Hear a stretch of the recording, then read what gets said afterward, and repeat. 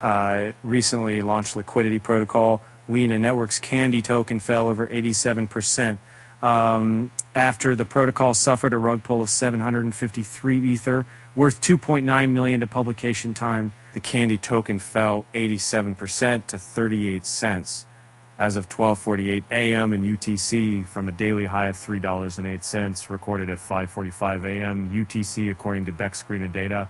The Candy token fell after on-chain data showed that the Lena network deployer address had transferred 753.11 ETH worth around $2.9 million to an address associated with OKX exchange that on March 6th, 2.30 a.m. UTC, uh, according to Etherscan. Uh, the rug pull occurred a few hours before Lena Network announced that it had officially renounced the ownership of the token contract according to a March 6th X post. Now, the protocol hasn't issued a response to the incident as of press time. And Lena Network raised a total of over 850 ETH, $3.2 million for its Candy and Angel Farm offering, uh, which ended on March 2, according to the protocol's announcement. Uh, the Candy token uh, went live earlier today, uh, March 6, uh, only to see a sharp decline. Uh, rug pulls and hacks are a growing concern in the crypto space.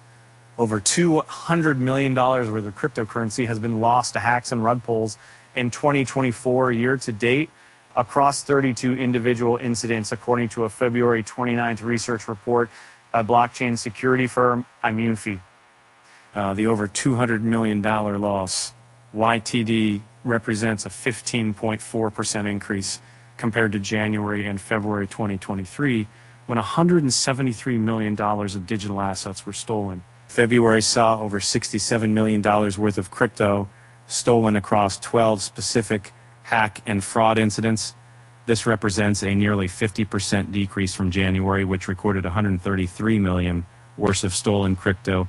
Um, a total of $1.8 billion was lost to crypto hacks and scammers in 2023, of which 17% can be attributed to the North Korean Lazarus Group, according to a new fact there, for 17%, and a manager, according to 28 Recorp.